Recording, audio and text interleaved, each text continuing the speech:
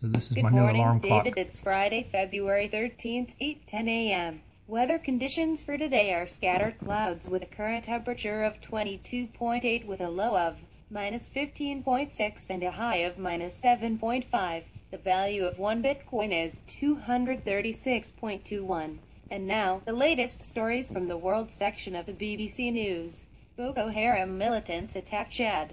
Boko Haram militants from Nigeria attack a village on the shores of Lake Chad overnight, the first such attack on Chadian soil, officials say.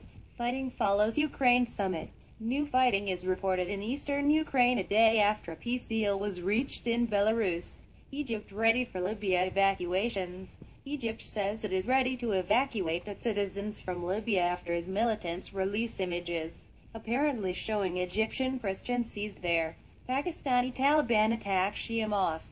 Three militants attack a Shia mosque in northern Pakistan, killing 19 people and injuring dozens. The second major attack on Shias in recent weeks. That's all for now. Have a nice day. So I use a crontab to run that script at a certain time, certain day. Um, it pulls all the information and it's running it into RAM. It doesn't use the SD card. Um, I got the coding online and did a little bit of editing to it. Um, their original crontab didn't work with the image I had running on my Raspberry Pi. But this one seems to work well and you can edit the weather and news pulls.